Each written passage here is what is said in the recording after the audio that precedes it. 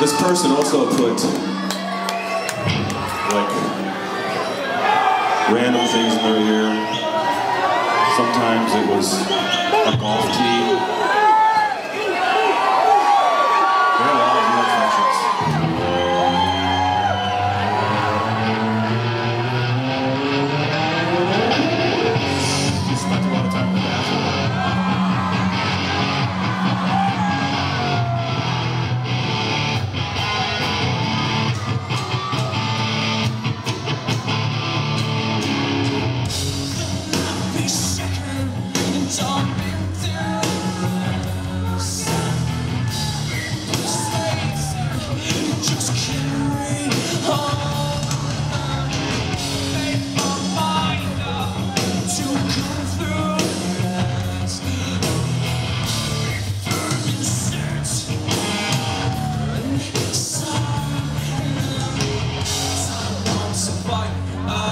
I want to.